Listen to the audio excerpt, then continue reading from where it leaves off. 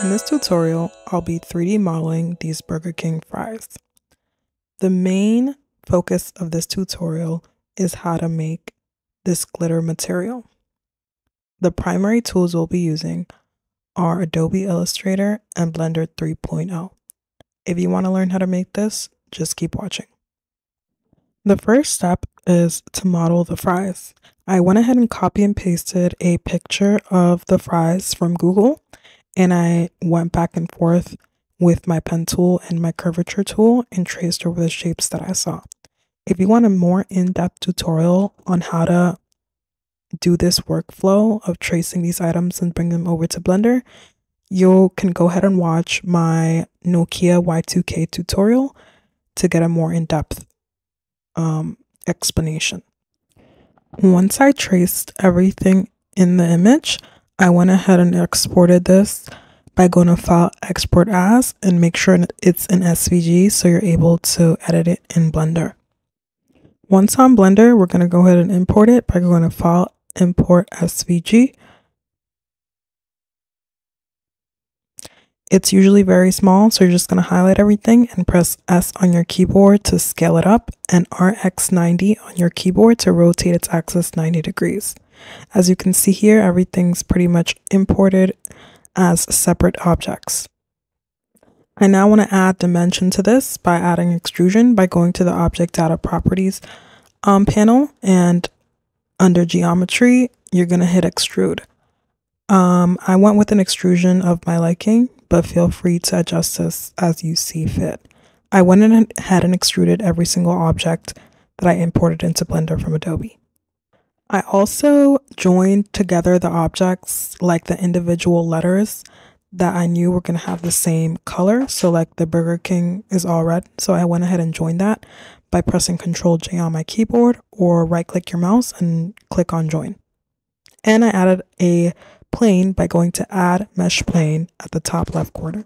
The next step is to sculpt these objects and first you have to convert the object to a mesh by right clicking your mouse and converting it to mesh and then in the modifier properties panel you have to remesh the object. For this case I used the smooth option and I repeated this process to every single object I imported into Blender. I also wanted to look at the reference image, so I added it by going to add image reference and I imported the image from Google.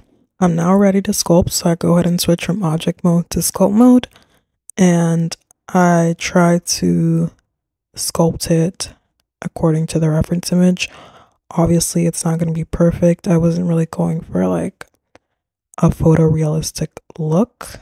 So I went ahead and used the smooth tool, the inflate tool, the blob tool, and the grab tool to shape every object to my desired specifications. And as you probably noticed, I only have two fries there. It's because I felt like it would be easier to sculpt it first and then add the material and then copy and paste the fries everywhere and position them once they already have the material so I don't have to go back and add the material to each individual fry. Now that everything is sculpted, I wanted to add the material so I slid that a new tab over and I made it into a shade editor tab and this way I can play with the material and also the environment texture.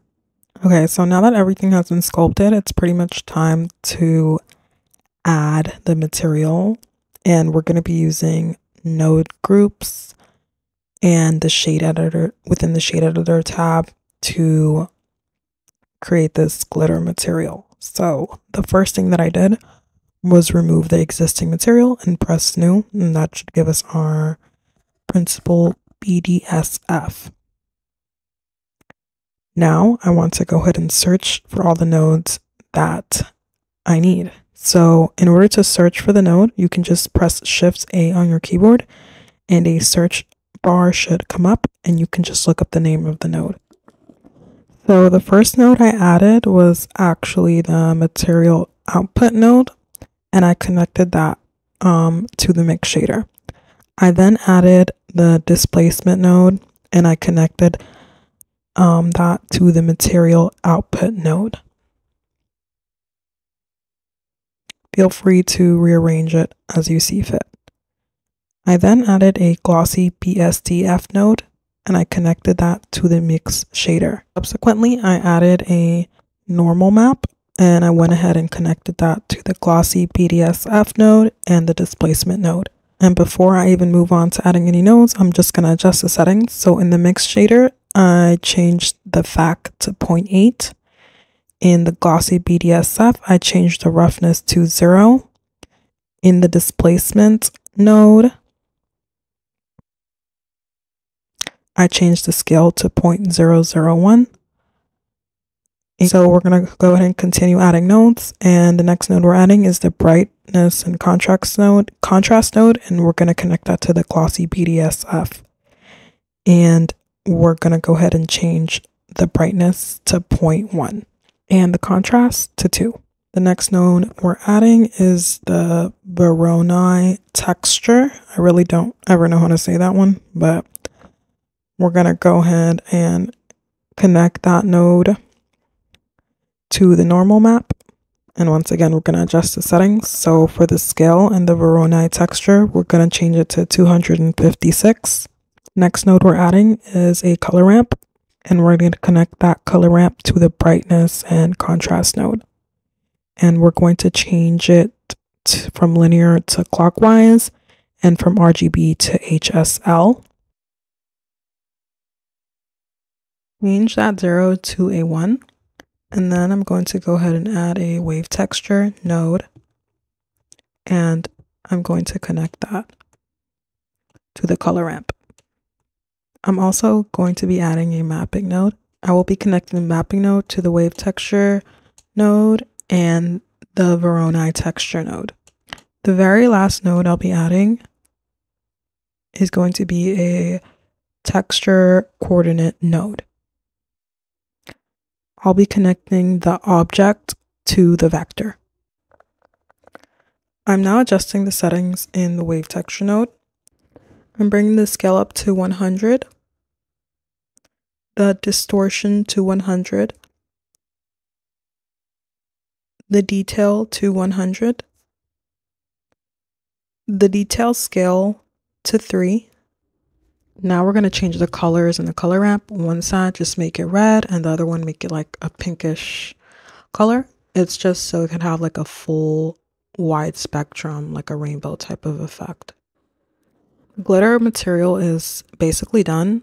I went ahead and switched over to render previews. This is what it initially looks like. Um, you're just going to want to go to the mapping node and change the scale I did like negative eight, I believe. But you can play around with it. And it's going to look super small like this. And there you go. You have your glitter effect. So right now you're probably wondering like, do I have to do this process over and over again for all of my objects if I want them all to be glitter? And the answer is no.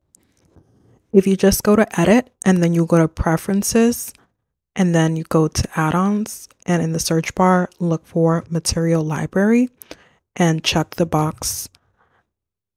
And that way this creates a little section within your materials tab in the properties panel where you can save your materials permanently. And you can reuse them as many times as you want. That way you don't have to keep doing this long node process over and over again so once you're in your materials library, I just went ahead and changed the name to glitter and I press add to library within the my materials um scroll down menu. And now you're ready to select any object you want and apply that material to that object like I just did to the fries. Now you may notice when you try to change the color, like all the colors will change. A way to avoid this is by clicking on the number that appears next to the material and that adds like that creates a new version of the material you already have existing. That way you can change the color freely without changing the color on anything any of the other materials basically or the other objects that have that same material. So I went ahead and added the material to all of my objects and I changed the color and the color was kind of dull and I wanted it to be more vibrant. So in the mix shader node that we added earlier, you can change the FAC setting and in order to make the color more vibrant, just lower the FAC setting. And I also made the mapping smaller for the smaller objects because it looked better. And the next thing I did was just copy and paste the fries shaped objects all over um, the carton just to get obviously a more realistic look. Now that I added the material and I sculpted it, I just had to copy and paste it everywhere. I also slightly changed the colors, the color of a of the yellow for each fry to add like more dimension and like in real life some fries may be a little burnt, some of them may be undercooked. So, yeah. Now it's time to add an environment texture. I switched over to render previews tab. As you can see, it's grayed out. I switched over from object to world.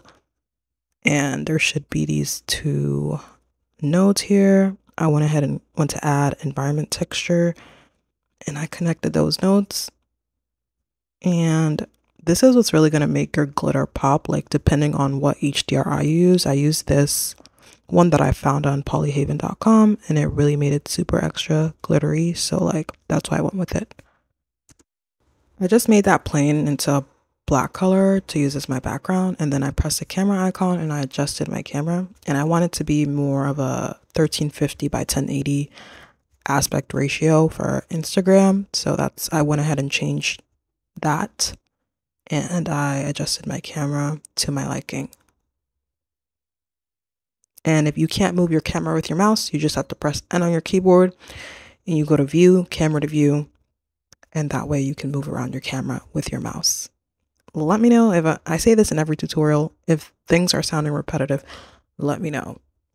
And we're going to take this glitter to a whole other level by compositing, but the first step is going to be to render this out. I'm rendering in Eevee. I know I usually render in Cycles, but this glitter material looks a lot better in Eevee. So I just go to render render image and render that out. Once that's rendered out, I go ahead and switch over from layout to compositing. And this is where I'm going to set up my extra glare. I put use node and then I press shift A to search for the node and I look for the glare node and I connect that in between those two nodes. And then I look for the viewer node, which is going to allow me to see my results without rendering it. I switch off the background because I'm just going to add another tab on the side and then I switch that tab to a image editor tab and I search for the viewer node. And this is how it looks like straight off the bat. Um, if you like it like this, you can keep it like this, but to adjust the amount of glare, you just adjust the fade and that makes it extra, extra sparkly. Like it makes it really look like it's shining and I feel like it makes it look a lot better. So once you adjust your compositing settings, um, this is pretty much it. You can re-render if you want, or you can just save the image right from the compositing tab. Pretty much concludes this tutorial. If you want an animation tutorial on this, let me know in the comments. Um, if you enjoyed the video, I would really appreciate if you left a comment, a like, if you subscribed, anything is appreciated.